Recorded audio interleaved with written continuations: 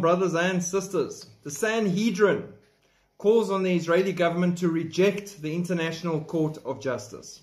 The Sanhedrin strongly urges the Israeli government to flee the court in The Hague as long as it exists. The Sanhedrin asks the Israeli government to end the farcical testimony before the court in The Hague. A. Morality should be based in the Torah as the people of Israel received from God at Mount Sinai and not from the court in The Hague. B. Everyone knows who the judges are.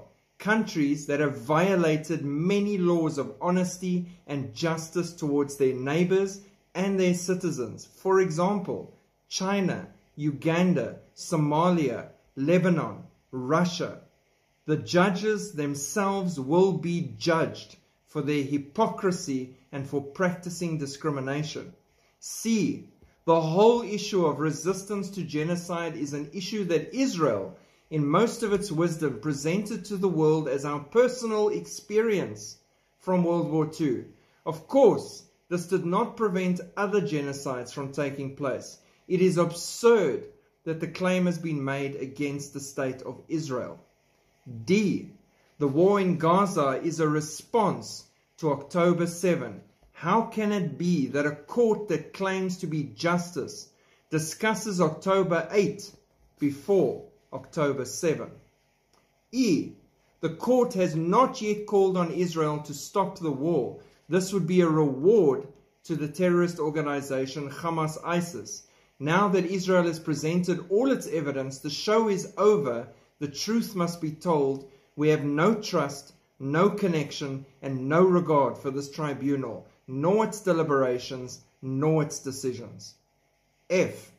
If the tribunal has so much extra time that it can bring spurious claims against Israel, perhaps they can deal with the Uyghurs in China, the Kurds in Turkey, the Yemenis among themselves, the Khuzestan province of Iran, and the chemical weapons used by Syria against its citizens.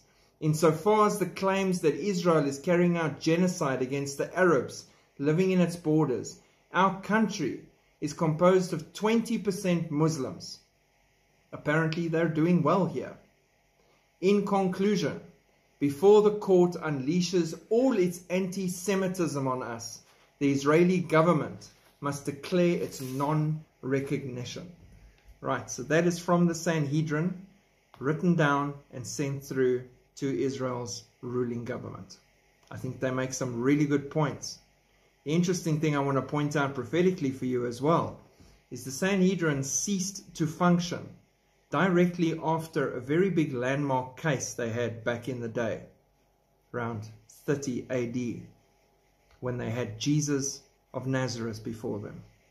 And when they were done judging him, in the earthquakes that occurred when he died, before he rose again.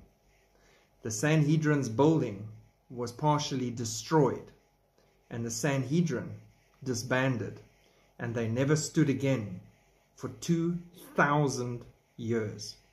And now, at the end of days, Ha'akaron, the final generation, the Sanhedrin is back in action, back in place, and back in authority and they're making rulings on current matters with regards to Israel. Coincidence? I think not. We are living on the very edge of everything. Pray for Israel. Pray for the peace of Jerusalem. Shalom.